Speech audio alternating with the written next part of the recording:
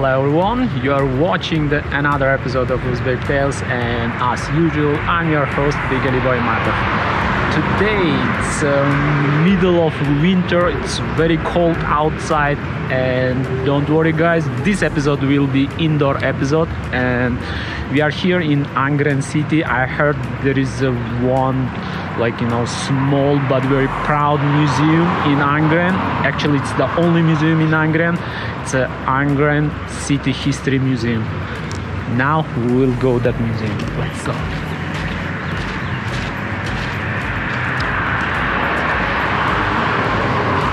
So guys, Angren City History Museum. It's open from 9 to 17 p.m. There is a you know lunchtime, but there is they are open every day, so you can come, you can visit this museum anytime. Let's go. Guys, this museum was created like 1960, so it's uh, already like more than 60 years uh, functioning this museum.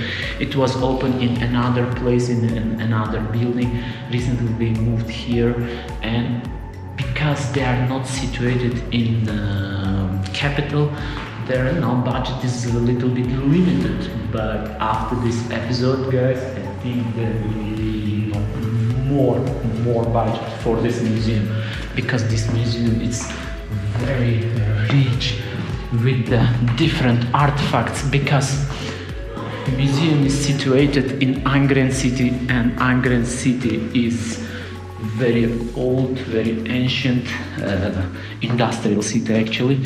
So let's go the first first room, guys. This is the this is the map of the Angren Valley, uh, Ahangaron Angren Valley. So guys, see right now we are here in Angren.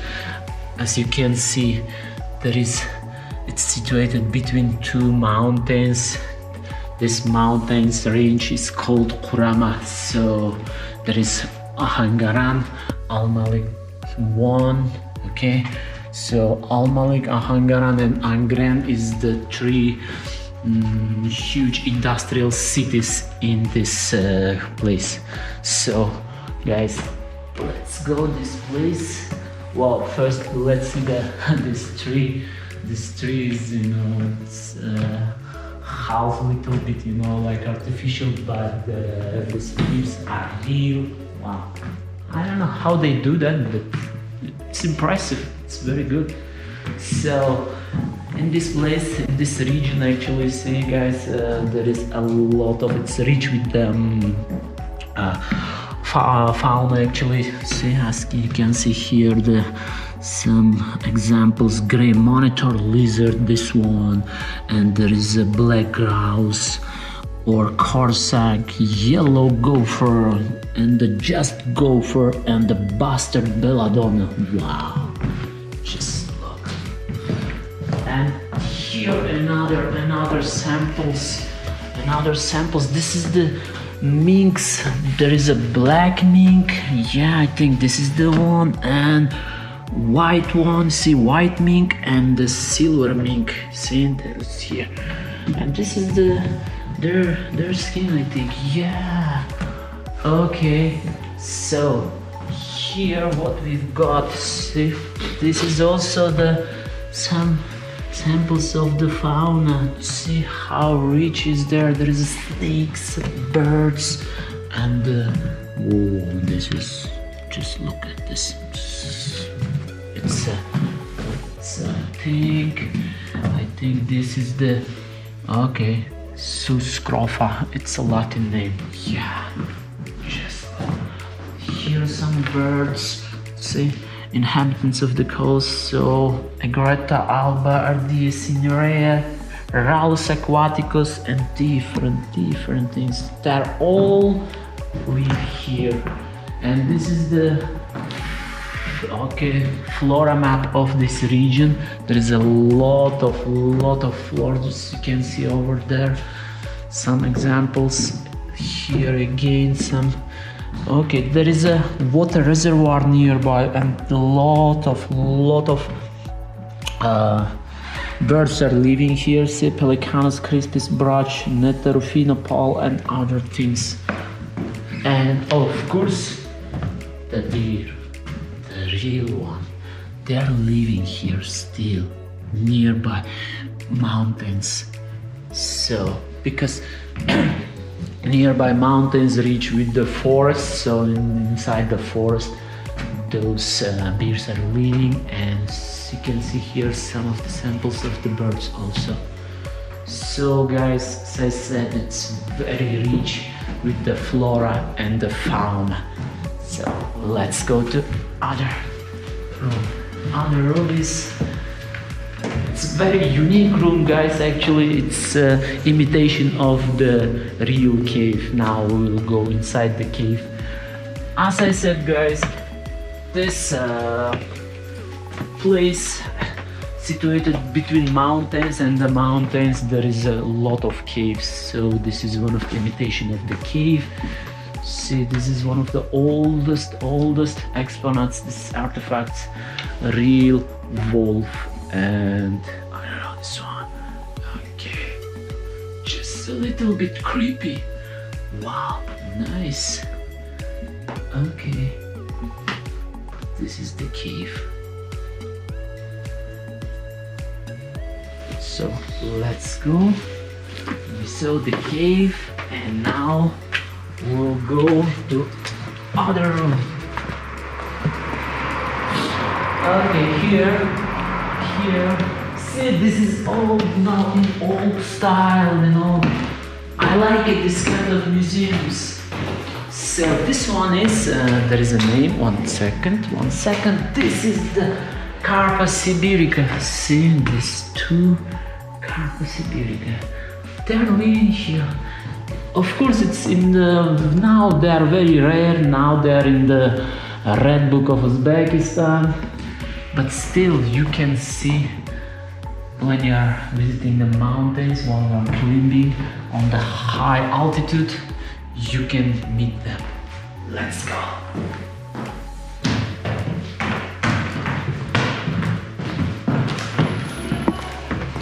So now we'll go to other other place, other room. Okay. Yeah.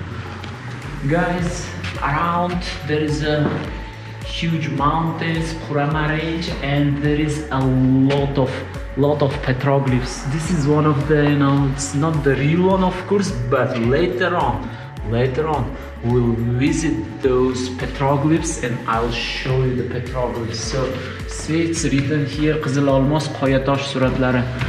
So, we will see, we will go to the Qizil Olmos also. So, this is the photos of the petroglyphs. Ertosh qishlog'i. This is the Ertosh village. In Ertosh village, there is a lot of lot of petroglyphs. It's and this Ertosh is nearby. In other episodes, we'll go there also. We'll show you the real petroglyphs. This is the Kolbulaq. Okay, Qizil Olmos, Ko'qsim. Again, Kolbulaq. Those places is the ancient peoples that live there in those places. Also they're nearby. When there is a good weather and you know when there is everything green everything beautiful we will go there. But now as i said middle of winter very cold outside. So okay here what we've got? Tombstone. Just look at this. This is fourth or between fourth and fifth century. Just look at this beautiful and this is the place actually this place nearby. People have lived a long time ago like you know 50 40,000 years. So this is the cave shelter of the neanderthals. See?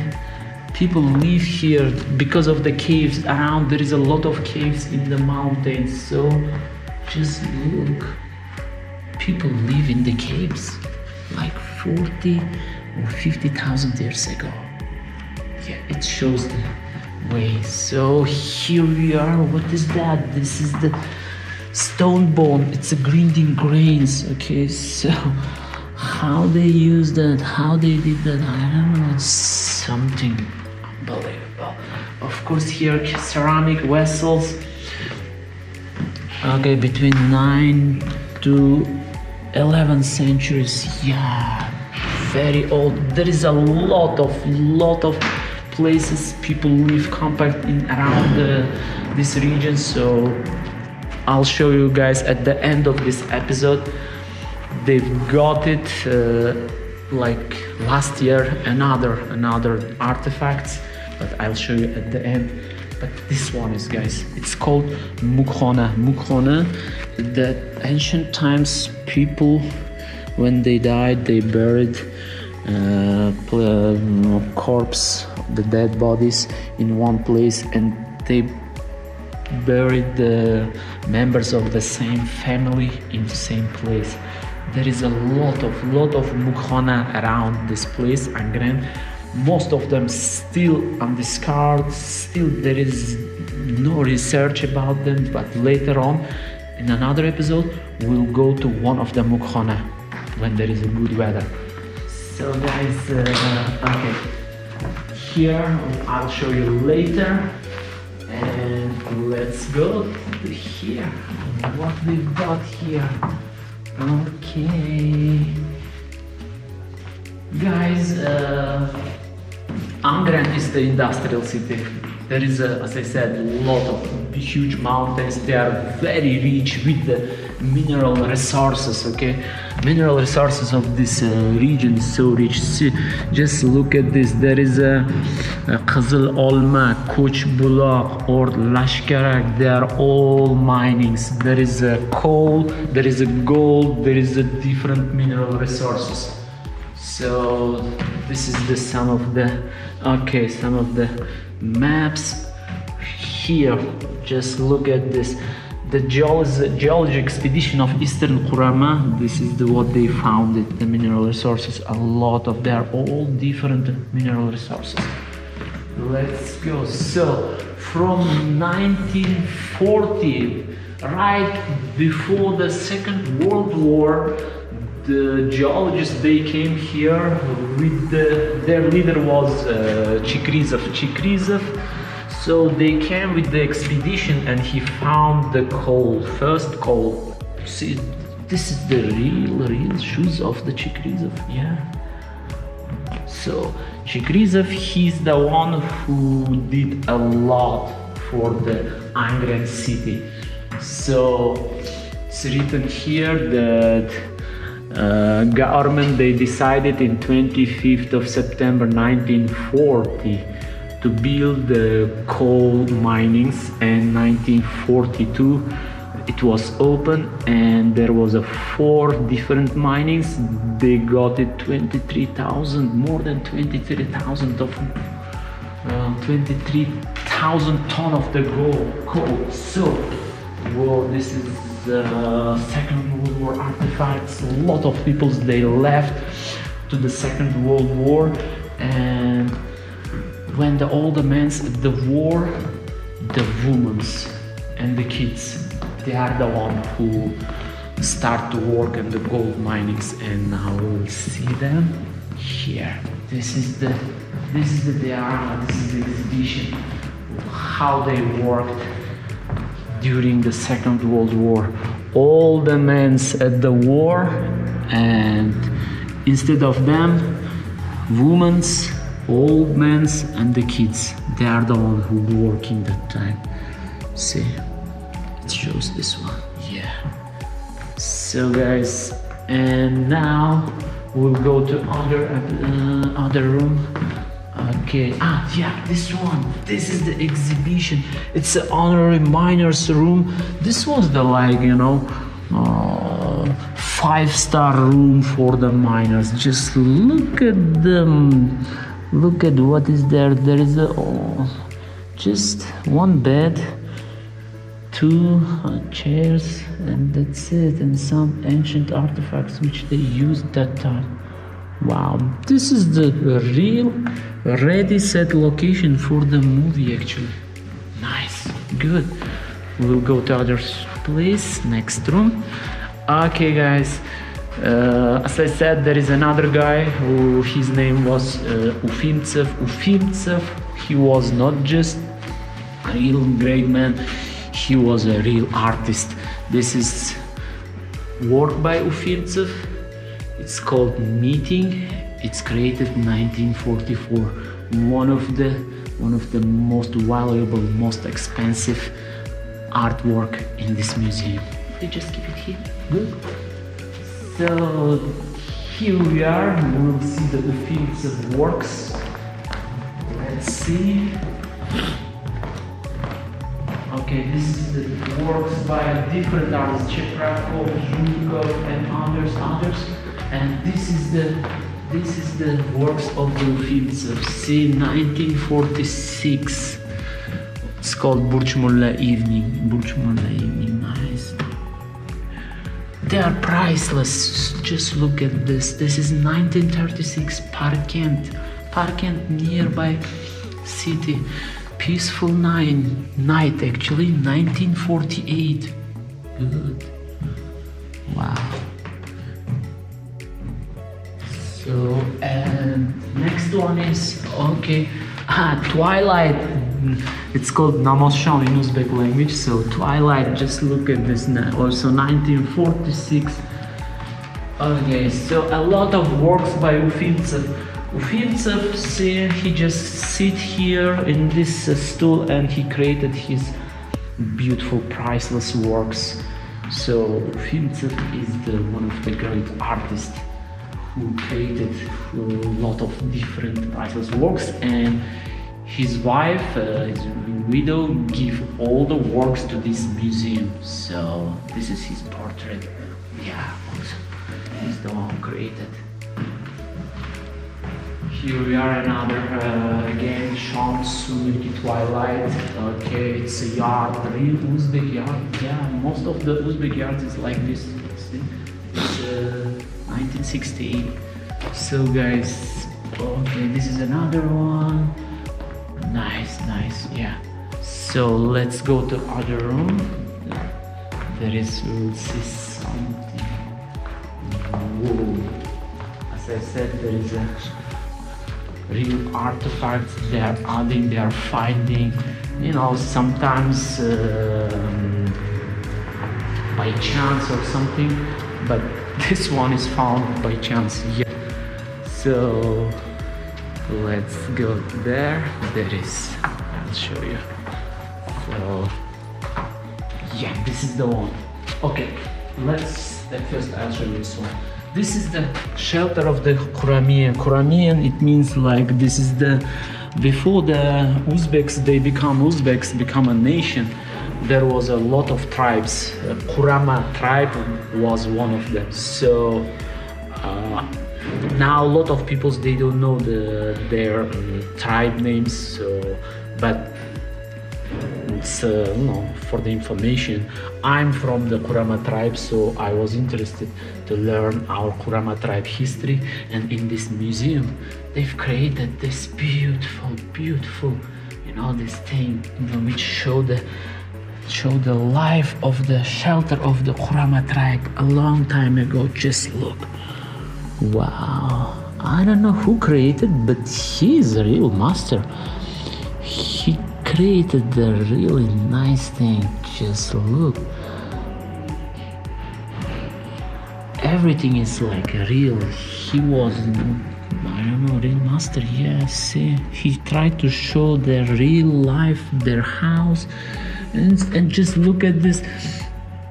Uh, a lot of people they think that okay, multi-story buildings was built, you know, like recently, but just look this no, in the mountain area, multi-story buildings was built long time ago, and the Kurama tribe is the one also built like this. Here, a lot of artifacts. Okay, it's a killer of this the jump. A lot of this is the home things they use it. Even though, even though people in the some areas still using this artifact still. Yeah. This is what uh, every, every life thinks it's called. Okay it's uh, made from the copper. Okay so this one also created here a lot of, lot of things. As i said this is the industrial place. A lot of minings around So this is the, some artifacts which they use, real artifacts, mine worker tools. See, between 10 to 12 centuries. Wow, they use it here. And here I'll show you how they how I'll show you how they got the coals and the gold. So they were coming down from the here, okay, small well. They will go down. See the steps. Wow, it's here. They will go down. I don't know how many layers. See, so many layers. How many meters? Then go one by one slowly. They digging. See, this guy is digging all the gold uh, or the coal or the gold and other things so they give to this guy he will take it out this was very very hard work. Now there is a conveyors now there is a modern tools but ancient time no. It was a very hard work. And then all the way. They took it up and they put it in the donkeys. Okay they were they were using the donkeys. Of course that time there was no real real technique real you know cars or something. So there was no trucks. So it was very very difficult time. Yeah they use it. And at the end guys i'll show you. Okay this is the one. Yeah this museum is getting rich every year with valuable artifacts and this is one of them. So we are filming this episode at the beginning of like 2021, mid of January and like six months ago 2020 in the summer the resident of the nearby city park and while he was digging hole in his home he found this one he found these artifacts, ceramic vessels. There was a human bones, and I don't know. It was like you know, the very ancient because uh, together with the human they buried this one, and this is it means uh, like um, very ancient tradition was that time to bury this man with the some jars or we did something together. So this is the one of the ancient ancient and but newest discovery which made by you know this museum. So museum is very rich actually. There is more than 18 like 32,000 I heard the different artifacts and only few of them are placed because their place is not so huge because they are uh, situated in the small uh, industrial city uh, Angren. But whenever you are here, whenever you are passing by Angren, whenever you visit Angren, just visit this museum. Uzbek Tales recommends the one of the best museums in this region, not just Uzbekistan, ever. So this place is mm, rich with the history, rich with the mineral resources like coal and the gold. They are very rich with artifacts. A lot of lot of things still waiting for discovery in this region. And the Angren Museum is working about it. So at the end of this episode guys just don't forget to subscribe thumbs up any comments and comments for the and the likes for the Angren City History Museum also. See you guys in next episode.